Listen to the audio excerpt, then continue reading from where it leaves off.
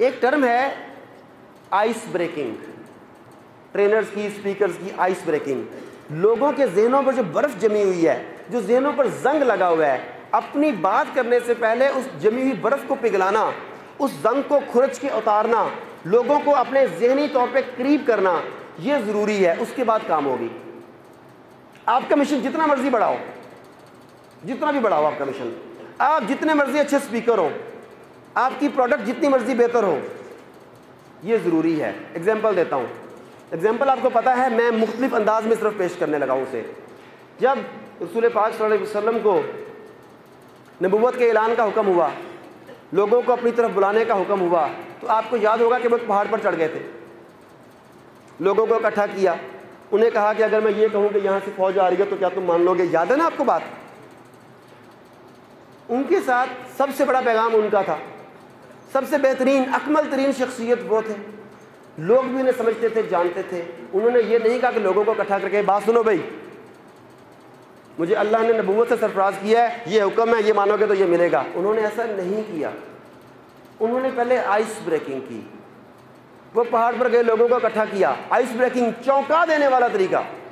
लोगों को इकट्ठा किया। अच्छा ये बताओ, अगर यहाँ से दुश्मन की फौज आ रही है, मैं ये कहूँ तो क्या मान लोगे?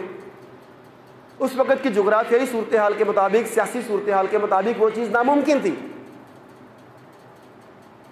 लोग चौंके, यार ये देखो क्या करें भाई देखो क्या कह रहे हैं, इस तरह की बातें हुई होगी। किसी और को बुला के बताया होगा कि देखो भाई ये क्या कह रहे हैं। फिर आपस में मशवरा किया होगा। उन्होंने कहा, मशवरा करने के बाद, बातचीत के बाद आप सादे के आप अमीन हैं। आपका माजी इस बात की दलालत करता है कि आपने कभी झूठ नहीं बोला। अगर जगह मुमकिन नहीं है। आप कहेंगे तो मान लेंगे। अब बताएँ, आप क्या कहना चाहते हैं? यही हुआ था ना बाकी अगर मुझे सही याद है तो। अगर हज़रत वसल्लम को भी अपनी बात करने से पहले आइस ब्रेकिंग करनी पड़ी उसके बाद पैगाम दिया और फिर भी सबने तस्लीम नहीं किया, कुछ ने किया, कुछ ने नहीं किया। तो ये कैसे मुमकिन है कि आप आइस ब्रेकिंग ना करें? आप लोगों के जहन पर जमी हुई बर्फ़ को ना पिघलाएँ। आप लोगों के जमे हुए जंग को ना खुरचें। और आते ही बात करें, बात सुनो। मुझे बुलाया गया है, मैं बहुत बड़ा स्पीकर हूँ, पंजाब से आया हूँ। आप इसलिए बैठे हैं यहाँ पर कि मेरी बात सुने तो ये बात समझ लो। कोई असर नहीं है इस बात का। जब तक आपके साथ जहनी हम आहंगी ना कायम की जाए, जहन पर जमी बर्फ़ को ना पिघलाया जाए, कल भी ताल्लुक ना कायम किया जाए, उन्होंने पहले गवाही ली अपने बारे में। फिर बात की। तो आइस ब्रेकिंग ज़रूरी है। सामीन के दिलों तक अपनी बात पहुँचाने के लिए दिलों पर जमी बर्फ़ को पिघलाना पड़ता है। इसके लिए चौंका देने वाला अंदाज, गैर मुतव अंदाज बाज़ों का बड़ा फ़ायदेमंद रहता है। एक छोटी सी मिसाल देता हूँ। साहिवाल यूनिवर्सिटी में बहाउद्दीन जिक्रिया यूनिवर्सिटी का साहिवाल कैंपस। मुझे उन्होंने नफ्सियात की क्लास, जो साइकोलॉजी की क्लास होती है, उसके मास्टर्स क्लास के तलबा से, तालिबात से बात करने के लिए मुझे बुलाया। जब मैं वहाँ पर गया तो मैं जब क्लासरूम में दाखिल हुआ, हाल में जहाँ पे मैंने खिताब करना था तो उन तालिबात के चेहरों को देखकर मुझे अंदाज़ा हुआ कि ये इंतहाई बोर बैठी हुई हैं। ये कतन लेक्चर सुनने के मूड में नहीं है। अब मैंने जब अंदाज़ा किया, साथ प्रिंसिपल से पूछा तो पता लगा कि इनकी ब्रेक का टाइम ख़त्म करके उस लेक्चर को एडजस्ट किया गया है कि आज जो आपकी एक घंटे की ब्रेक है, वो ब्रेक नहीं होगी और अगला पीरियड जम करके ये कर दिया गया है। उन्हें अपने ब्रेक के ख़त्म होने का दुख था एक तो। दूसरा सुबह की थकी हुई होगी वो। उनके चेहरे से लग रहा था कि अब बड़ा बोर किस्म का सेशन है, कहाँ फंस गए हैं? और उनके जहन में ये था, कोई बूढ़ा सा आदमी आएगा, चेहरे पर उसके बल पड़े होंगे, गुस्सा होगा, और वो पता नहीं डांट डांट के कैसी बात करेगा। तो पहला एक्सपीरियंस ऐसा होगा। अब उनके चेहरे देख के मुझे पता लग गया कि आज माहौल अच्छा नहीं है।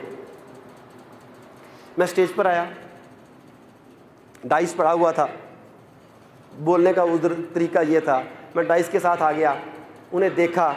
तो मैंने कहा कि मैं सबसे पहले एक बात का एतराफ़ करना चाहता हूँ कि मैं आपकी तो पर पूरा नहीं उतर सकता।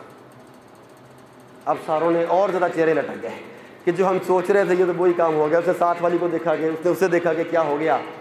मैंने अपनी बात जारी रखी। मैंने कहा कि मेरे साथ हमेशा ये मामला हुआ कि मैं लोगों की तो पूरी नहीं कर सका, और ये सचमुच वैसे ऐसा ही है।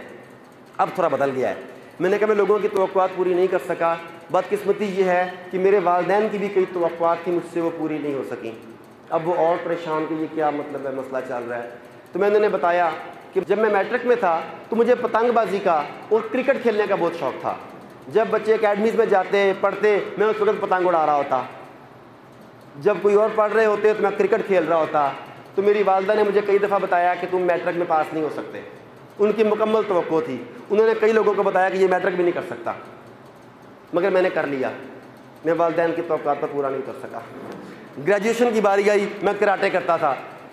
कभी चोटें भी लगती थी तो मुझे बताया वालदा ने।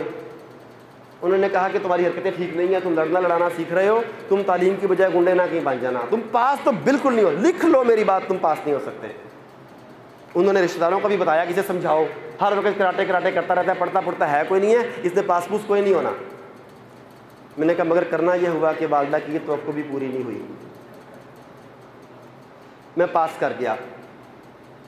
और आज आपको देख के अंदाज़ा हो रहा है कि आप सबकी तो है कि ये सेशन बहुत बोर होगा। कहती हाँ हाँ मैंने कहा, मैं यकीन दिलाता हूँ, आपकी तो पूरी नहीं होगी। क्योंकि मेरा काम है तो को तोड़ डालना। अच्छा उसके बाद यकदम वो सारे के सारे बिल्कुल माहौल चेंज हो गया, बिल्कुल चेंज हो गया।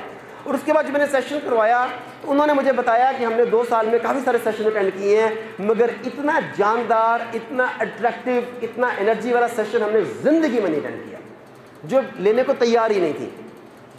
क्या किया मैंने पहले उसके लिए? ये भी बंद हुआ हुआ है। आइस ब्रेकिंग मैंने उसके लिए तैयार किया उन्हें कि ये होने के लिए जा रहा है। लेकिन मनफी अंदाज में कि वो जो चाहते थे उसे इस तरीके से चौंका देने वाला अंदाज अपनाया कि वो मानने के लिए तैयार हो गए। आपने देखना है कि आप किस किस तरह से, किस तरह की आइस ब्रेकिंग कर सकते हैं। लोगों के जहनों पर जमी हुई जंग और बर्फ़ को कैसे तोड़ सकते हैं। आइस ब्रेकिंग कामयाब होने के लिए, कामयाब स्पीकर या मुकर बनने के लिए इंतहाई ज़रूरी है।